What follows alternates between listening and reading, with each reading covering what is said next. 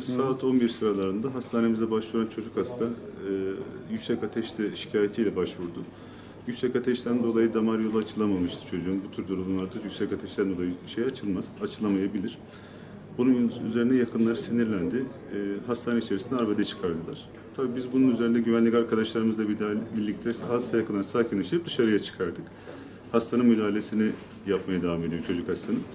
O sırada çocuğun babası e, birkaç kişiyi arayıp yaklaşık 3-4 araba dolusu adam çağırmış buraya.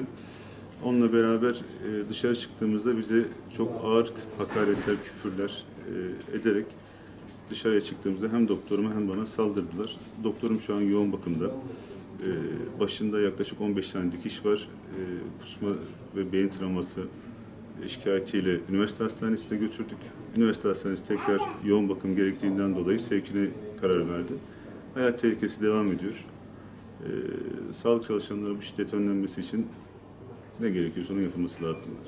Bununla ilgili biz gerekli merkezlere şikayette bulunduk. Ee, şahsın anne babası buradaydı. Onları aldılar ama diğerleri e, darbeden şahısların çoğu kaçmıştı.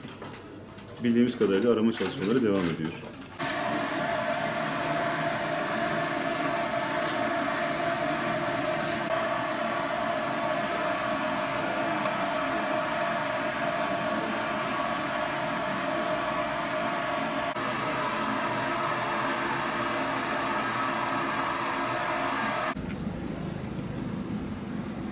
Thank you.